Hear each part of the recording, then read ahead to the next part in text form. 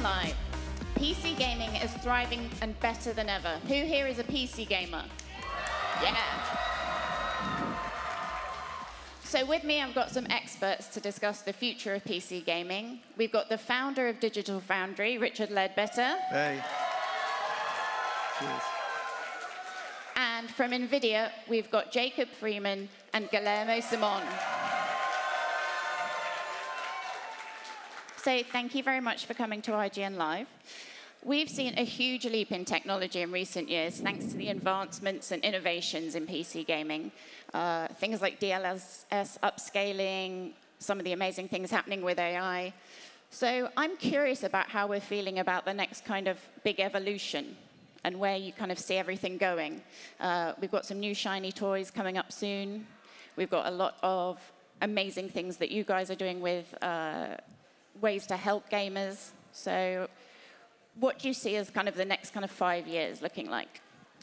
Well, there's definitely a, a lot to talk about there. Uh, if we start with, we can start with uh, something pretty simple, um, like lighting in games. You know, um, if you look at uh, full ray traced lighting or path traced lighting, it's it's actually not.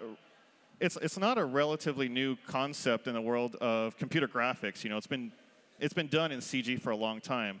But what is, uh, what is new is uh, ray tracing for, for gaming.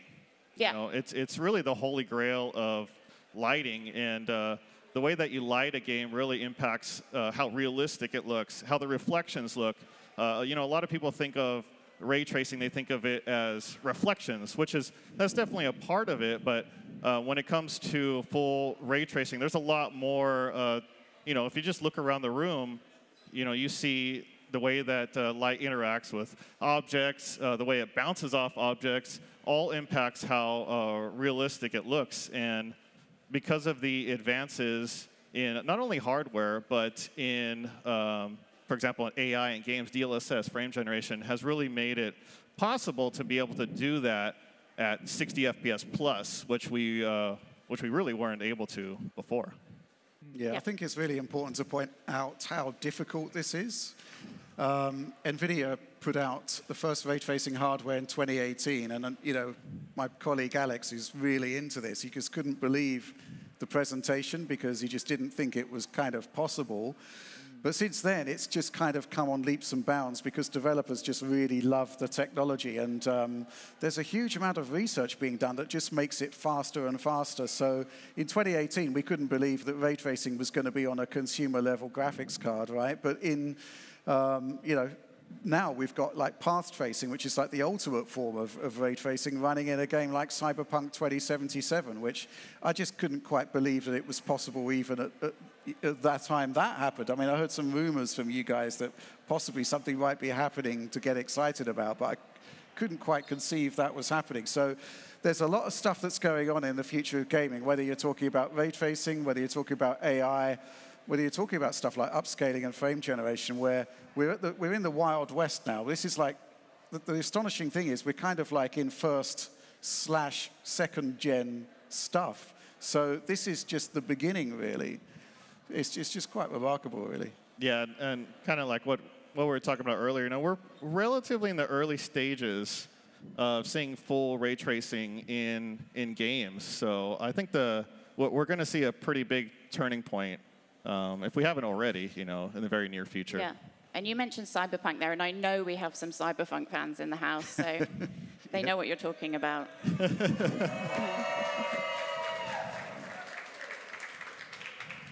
As a bit of a nerd, I'm fascinated by AI, and I know you really uh, you revealed G-Assist at Computex. So from the outside, that just looks like, oh, this is going to help gamers. It's a new way to get game help. But could you? I know there's more to it. Could you explain that? Yeah, sure. So um, as you explained, it's essentially an assistant to help gamers with different things. So for example, at Computex, we had two use cases. One of them was an assistant that would help with game-specific guidance. So in this case, it was with Ark Survival Ascended. So it was questions about how you would craft a particular item or how you would defeat a particular boss. Um, so that was one part of the use case. And the other one was with just how configurable PC gaming can be, um, asking the assistant about how to extract maximum performance and efficiency from your rig. Um, and so those are sort of the two use cases that we saw. Um, in general, I think that it, it, will change the way that we engage with our apps.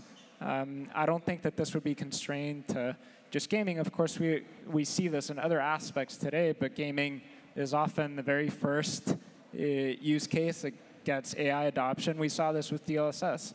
You know, it, yeah. when was it? Like seven years ago. It was, in my opinion, the first widely deployed AI for gaming, and now it's sort of yeah. become the the standard for it.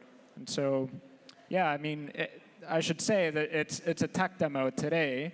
Um, but it's intended to showcase a vision for how developers or the community could build assistants like these that would help for different tasks. And of course, we're collecting feedback and excited to see what developers might do with it if it becomes anything more than a tech demo in the near future. Yeah. And Richard, I know you live and breathe PC gaming specs. So how do you see something like G-Assist changing the way that just a normal nerd like me might interact well, with their games? Um, there's a scene in like Star Trek 4 where Mr. Scott needs to use the computer, and he picks up the mouse and goes, "Hello, computer."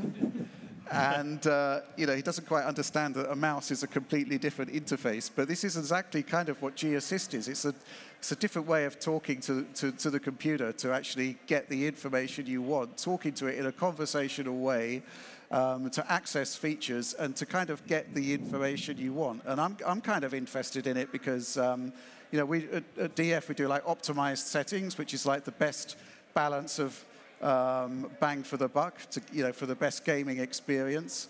So, you know, why not just ask G-Assist or, or some other AI assistant, you know, can you optimize this game to run best on my hardware? So, yeah, I think it's, it's really interesting to see uh, what you can do with it and also the stuff that it can give you because it's got so much access to information under the hood right. that you just don't typically have generally as a user. So yeah, it's really interesting stuff. Yeah. The other thing that you guys have shown off recently, which looked incredible, was the ACE technology. Yeah. I saw a lot of incredible looking kind of human faces. How will we see that affect games? Yeah, I mean, ACE really is very, very cool. Um, it's for those unaware, it's essentially NVIDIA's initiative to make AI NPCs possible.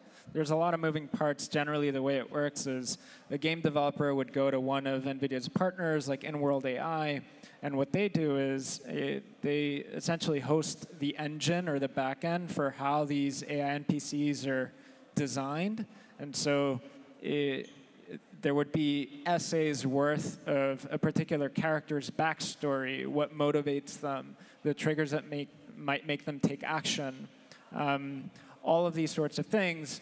And then what NVIDIA is providing is all the models that would essentially bring them to life. So things like um, you know, speech recognition, speech to text, it, something we called audio to face, which is um, how the NPC's face animates when they speak um, and it's tied to the phonetics. So it doesn't matter what language they speak. It's uh, at, at, Computex we had a multilingual agent. Uh, you could speak into it uh, in Mandarin. It would come back in English, and of course there's several other languages. But it doesn't matter what language they speak. The facial animations, which by the way, it takes a lot of developer work um, to get right.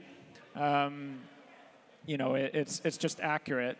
Um, and so with Covert Protocol and, and some of the other examples, we had some examples of how AI NPCs will, uh, you know, essentially enhance the experience. You might imagine like an RPG. Yeah. Um, or something like that. Yeah, I mean, uh, we've uh, I've demoed this a lot of times in uh, at trade shows, and people's minds are really blown by it. You know, for the longest time when we've interacted with NPCs in games, you know, it's usually like you have a few options and then you know they have a set of responses. But this really changes completely the way that you interact with an npc you can ask you can ask it anything. You can ask tell, tell me a joke. You can say what's the weather outside? I mean literally anything. But the, the character will stay in this story right. because they have a background they have a story written for them. Um, so it actually is pretty pretty amazing to uh, to be able to interact I with. feel like I Yeah. feel like to a similar extent to how games change from 2D to 3D, um, it's eventually going to be one of those things where it's either going to reinvent current genres or it's probably going to create new ones that we can't think of right. um, Yeah. today. But you know, with some creative developers, I think we're on board for some really interesting experiences. Yeah, wh- wh- what's exciting for me, from my perspective, is this is first gen stuff. Like, this is like early tech demos that we're seeing at the moment. And so, sky's the limit once this really takes off. And um, I'm thinking, you know, other things. For example, let's imagine a game like GTA 6, for example. They've already, they've, Yeah. they've, they've already got really advanced um, systems for controlling the behavior of all of the, the people in the city, right? You know, they go about their day, they drink their coffee, they put their umbrellas up when it rains, that kind of thing. um, but, you know, imagine that powered by AI and imagine being able to have all of this conversational stuff in there. You know, imagine a game like Hitman, for example, where the whole gameplay is, is, is kind of based on what's happening in the environment in a particular context. It's about gaining information, you know, adding that extra level of interaction with AI. You know, it's just going to take things to a, a different level. So what we're seeing now is really interesting, but you know, I'm just thinking like five, ten years from now, where, where is it going to end up? It's going to be completely different. That's kind of why I'm still in, the, you know, in this particular industry because there's, there's just new surprises eh, happening all the time. It's a really exciting time right now. Yeah. We're seeing a real rebirth as well of kind of handheld gaming, which, uh, you know, in the past hasn't really been able to keep up with PC gaming in terms of, you know, the looks or the performance. How do you see these technologies like DLSS and things like that? Do you think we'll start to see those in the handheld market? And, and what could those kind of technologies do on those smaller machines? Right. Well, I can't speak specifically for the handheld market, but uh, for DLSS, for example, you know, it, it was originally introduced as uh, six years ago, I think, right? Um, so relatively new.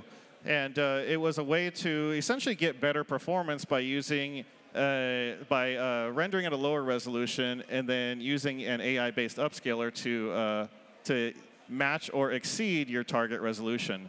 And so it actually has evolved um, like like just like you know a lot of the AI technology we're talking about has evolved rather quickly. So uh, we had DLSS, you know, which is super resolution, and then we introduced frame generation, which is actually using AI to generate an entire frame, significantly improving performance. And a lot of the stuff that we talked about today, like path tracing and you know uh, AI NPCs, a lot of it would actually not be possible without these technologies to run at a 60 FPS plus experience.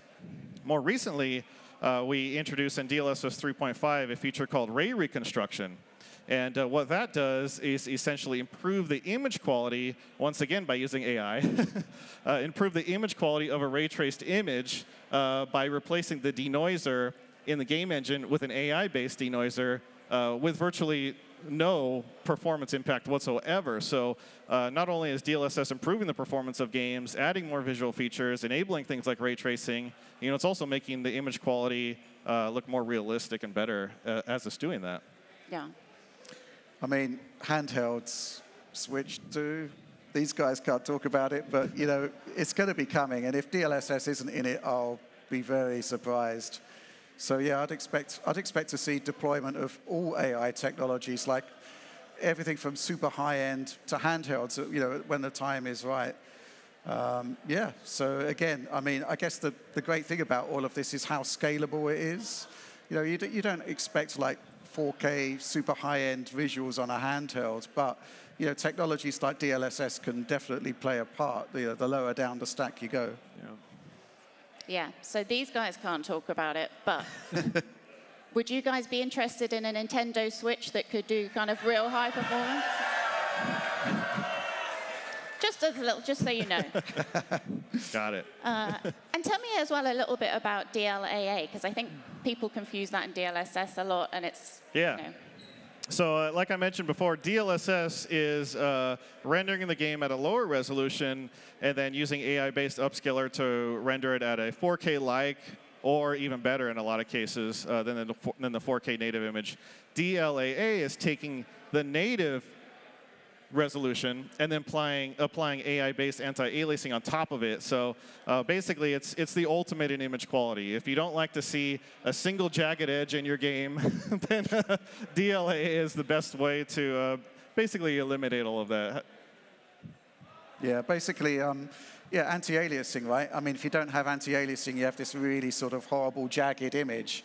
Yeah. And um, DLSS actually is an anti-aliaser as well as an upscaler. Right. But you know, if you can devote all of its resources to just anti-aliasing image at native resolution, you get like super pristine quality. So it's basically, you know, the, inherent, the, the, the, nature of PC gaming is how inherently scalable it is. So if you've got the performance, you know, Yeah. sitting in your GPU, and you want to use that for like um, better image quality, higher levels of anti-aliasing, as opposed to you know going above the refresh rate of your monitor.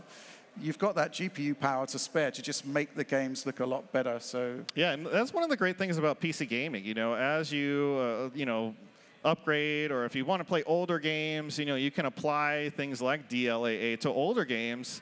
Um, if you're obviously if you have great performance already and get even better image quality than you had a few years ago. Um, so yeah, that's uh, that's one of the many things that's great about PC gaming. And just as a last question, because we are running out of time, even though I know we could talk about this stuff for hours, uh, is just kind of if each of you could give me kind of one of the technologies and which part of it you're most excited about in the games you play. who wants to go first? I'll go. So I, uh, for me, it's I would say it's it's lighting in games. We talked a lot about path tracing and full ray tracing, and actually I credit lighting in gaming as uh, what initially got me interested in and, and into this industry was seeing Quake 2. Uh, they call it colored lighting back then, Yeah. I think. Uh, with uh, in 3D accelerated mode, and I was just blown away. And I really feel like we're at that point again with uh, with full ray tracing or path tracing. Um, that and that that personally gets me very excited because I, I really feel, you know, lighting is is is it's how we see the world. You know, it's it's it's the best way to uh, to to emulate our real world is by uh, more realistic lighting. So. So yeah, for me, I'm I'm excited about all the all the path trace and full ray trace games coming.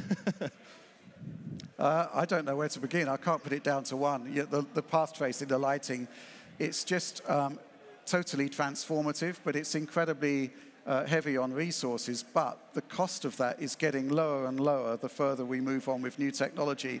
But equally, how well developers are using that technology. There's a thing called ReSTIR, which is for path tracing, which has made stuff like cyberpunk path tracing possible. It's just like quite astonishing, really, when you see it. I mean, there's there's so much going on. Unreal Engine 5, for example, um, obviously that's scalable across a lot of technologies, but you know stuff like nanite, this ultra high detail, and obviously you know the, the better the hardware you've got, the, the more scalability, the more scalable it is, the better results you get, the higher the performance. That really excites me. There's there's so much going on, and um, you know. Well, I'm going to have to let Guillermo have a go because I know you could absolutely. go I very could be here all day. Yeah, I mean, for me, the wish list is long also. As a competitive player, give me a thousand frames per second, give me a thousand hertz of refresh rate, five milliseconds of latency. Um, but I think to me, in terms of what's near future, it's probably AI NPCs and how they're going to change um, Yeah. the way we engage with our favorite titles today and um, bring about some new genres that I can't really Yep. imagine today. Yeah, no, I for one welcome our new AI overlords. so. so there you have it, a glimpse into the potential future of PC gaming. Thank you so much for joining us. We've got lots more ahead right here on IGN Live. And uh, yeah, thank you again. That was great. Thank you.